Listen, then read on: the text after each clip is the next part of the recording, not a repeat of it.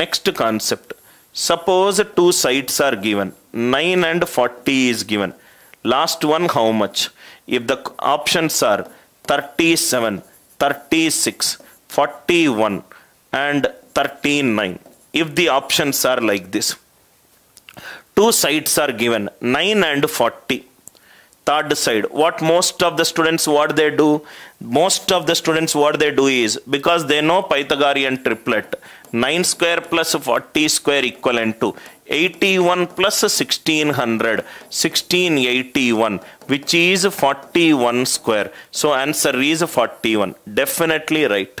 Definitely most of the students will use this approach. These method 1 these method 1 method 2 listen carefully sir. Method 2 you don't need to compute it. 9 square plus 40 square. 9 square unit digit it is 1 40 square unit digit it is 0 answer unit digit on squaring I should get 1 answer on squaring I should get 1 7 square 49 not possible. 6 square 36 6 not possible. 1 square 1 9 square 1 1 square 1 9 square 1 if I take fourth option 9 square plus 49 square is 39 square.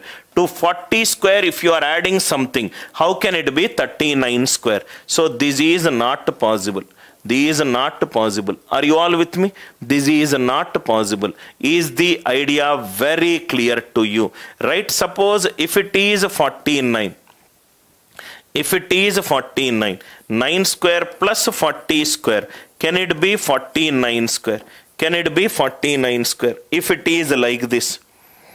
If it is like this to 40 square you are adding a smaller value. How can you get a larger value? Just little bit of mathematical common sense you will get the answer as 41 keep an eye on the answer options keep an eye on the answer option. 9 square unit digit 1 40 square unit digit 0 1 plus 0 1 right hand side on squaring i should get 1 7 square 49 9 not possible. Anyway 36 it is not possible because it is an odd number it is an even number. Odd plus even it should be an odd number. 36 it is not possible.